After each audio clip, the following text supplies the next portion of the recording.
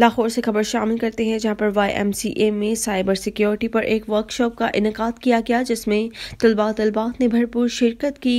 Accounts को secure कैसे किया जाता है? वो रखें जो आपकी फैमिली को भी ना पता ये ना रख ले one two three four five six seven देखिए, आपके फ़ोन में ऐसा भी डाटा होता है जो आप चाहते हैं कि कोई भी ना देखे। वर्चुअल दुनिया लोगों के लिए चालदा साबित होती है और नौजवानों को अक्सर नापाक अनासर के ज़रिए निशाना बनाया जाता है। ऐसे नासर और ब्लैक मेलर से बाखबर रहने के लिए ज़रूरत है। अगर आपके बच्चे फ़ोन यूज़ करते हैं आपकी फैमिली में ठीक है आप उन पर नज़र रखना चाहते हैं तो ये आप एप्लीकेशन यूज़ कर सकते हैं।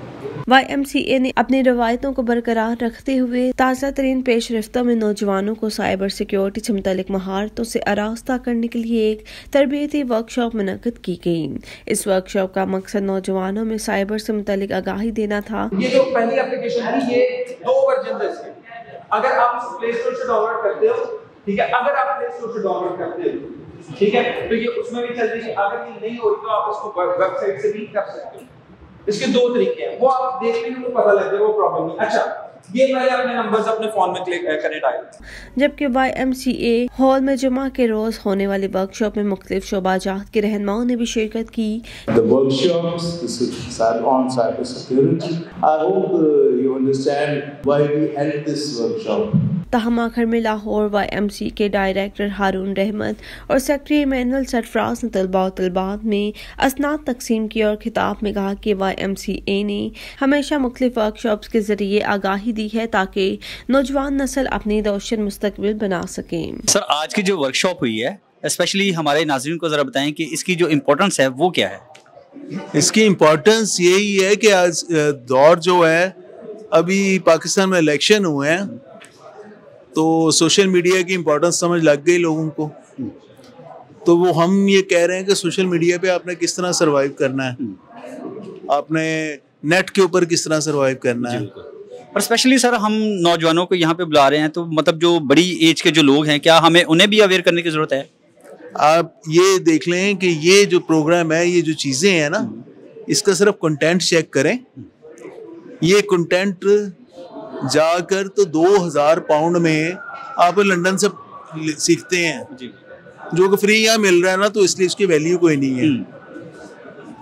तो सर वाई इस तरह के प्रोग्राम को जारी रखेगी मतलब इन फ्यूचर यही अनाउंस किया है कि हम हम्म। इस तरह के प्रोग्राम जारी रखेंगे। हम्म। और इस ये थोड़ा बड़ा ग्रुप था हम छोटे ग्रुप्स में करके बारह बारह पंद्रह पंद्रह लोगों के ग्रुप करके तो हम ये मजीद भी करेंगे thank you so much sir sir आप इस वर्कशॉप के बारे में क्या कहना चाहेंगे? आ, मैं इस वर्कशॉप के हवाले से ये कहना चाहूँगा कि ये वाई ऐसे प्रोग्राम जो है ना वो करता रहेगा और चूँकि सरफराज साहब ऐसे प्रोग्राम्स के लिए बड़े मुतरक हैं और बच्चों को ऐसी एजुकेशन देना चाहते हैं जो आइंदा आने वाले दिनों में बच्चों के लिए फ़ायदेमंद फ़ायदेमंद हो सके। और सर ये स्पेशली जो हमारे स्टूडेंट्स हैं उनके लिए कितना जो है ज़ाहिर सी बात है जो स्कूल गोइंग बच्चे हैं या कॉलेज जाने वाले बच्चे हैं ये उनके लिए ये ऐसी जो वर्कशॉप्स हैं ये आप क्या सोचते हैं उनके लिए कितनी अहमियत रखती है? चूँकि आजकल आपको पता है कि सोशल मीडिया का दौर है और न्यू जनरेशन जो है वो इस चीज़ को बहुत बेहतर तरीके से यूज़ कर रहे हैं और उनकी ये ज़रूरत भी है ठीक है?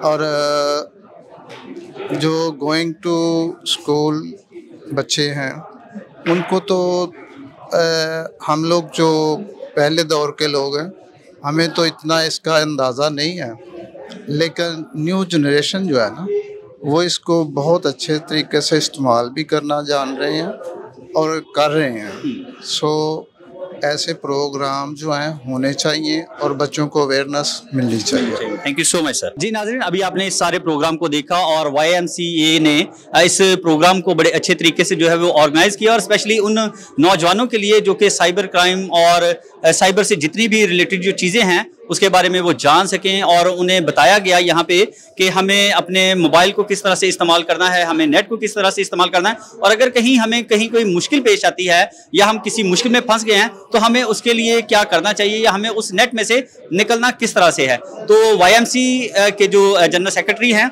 एमएनएल सरफराज साहब, उन्होंने बाकायदा तौर पर कहा है कि हम इस प्रोग्राम को जारी रखेंगे और हम बेशक इस वक्त बड़ा ग्रुप था और हम छोटे ग्रुप के साथ इस वर्कशॉप को जारी जारी रखेंगे ताकि हम और ज़्यादा बेहतर तौर पर अपने लोगों को, अपने नौजवानों को अवेयर कर सकें कि हमें साइबर क्राइम से अपने आप को महफूज किस तरह से रखना है। तो आप देखते रहें नेशनल न्यूज़ और मुझे और मेरे कैमरामैन तारक पैर को दे इजाज़त। खुदा हाफिज़।